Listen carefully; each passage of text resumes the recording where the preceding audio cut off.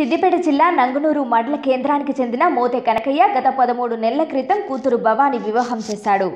కళ్యాణలక్ష్మి పథకానికి దరఖాస్తు చేసుకోవడానికి కులపత్రం అప్లై చేశారు. పదమూడు నెలలు గడిచినా కులపత్రం ఇవ్వడం లేదని అధికారులు పట్టించుకోకపోవడంతో ఎంఆర్ఓ ఆఫీస్ దగ్గరకు వచ్చి ఆఫీస్కు తాళం వేసి తాను అప్లై చేసిన పత్రాలతో పెట్రోల్ బాటిల్తో ధర్నా చేశాడు. విషయం తెలుసుకున్న స్థానికులు గుర్తించి వెంటనే పోలీసులకు సమాచారం తెలియజేసి అతన్ని రక్షించారు. అయిపోయింది టైము. పదమూడు నెలలు అయింది. దాన్ని తప్పులు సరిదిద్దేటోళ్ళు ఎవరు?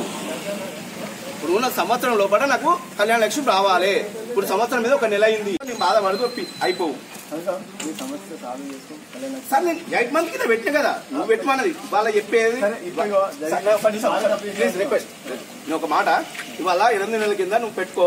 నేను బేడ బుడగజంగం మీద బాలసంత ఇస్తాను. బాలసంత మీద పట్టిన పెట్టిన కదా ఎనిమిది నెలల కిందనే. ఎందుకు ఇవ్వలేదు నాకు అది? అది ఇవ్వకుండా ఏం చేసినావు? మళ్ళీ నువ్వే పిలిపించినావు. నువ్వే ఫోన్ చేసినావు. నీ ఎంఆర్ఓ ఆఫీస్ నుంచి ఫోన్ వస్తే నేను ఈడికి వచ్చిన. అంతేనా? అన్నా? వస్తే నీ మాట్లాడిన తర్వాత బేడబుంగ సర్టిఫికేట్ పెట్టుకున్నావు. బేడబుంగ సర్టిఫికేట్ పెడితే ఐదు గంటలకు నేను ఇచ్చిపోయినా సర్టిఫికేట్ పెట్టి. మీ సేవలో కొట్టి.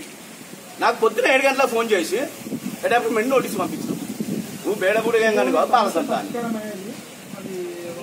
పరిష్కారం అంటే వీళ్ళు నేను టూ థౌజండ్ ఫిఫ్టీన్ నుండి మా అమ్మాయి డిగ్రీ థర్టీ ఇయర్ చదువుతున్న తారీఖు మూడో నెల రెండు వేల ఒకటిలో మేడబుర్గం సర్టిఫికెట్ అప్లికేషన్ పెట్టినాను అది ఇవ్వలేదు.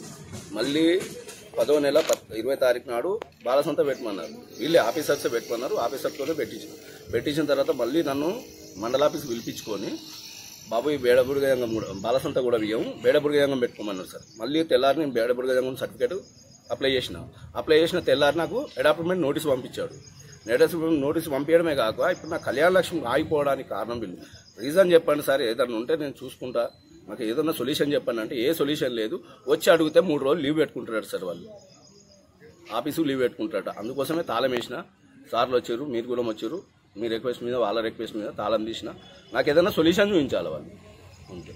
నా మార్గం ఏం లేదు నాకు వాళ్ళ మీద దుమ్మి కాదు వాళ్ళేమో నాకు పాలోళ్ళు కాదు పగోళ్ళు కాదు. వాళ్ళ ఆఫీసర్స్ నేను ఒక కామన్ మ్యాన్ను.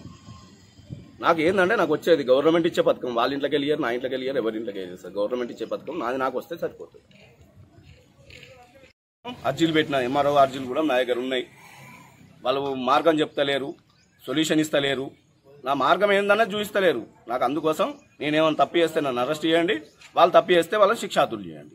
వాళ్ళని కూడా సస్పెండ్ చేయండి.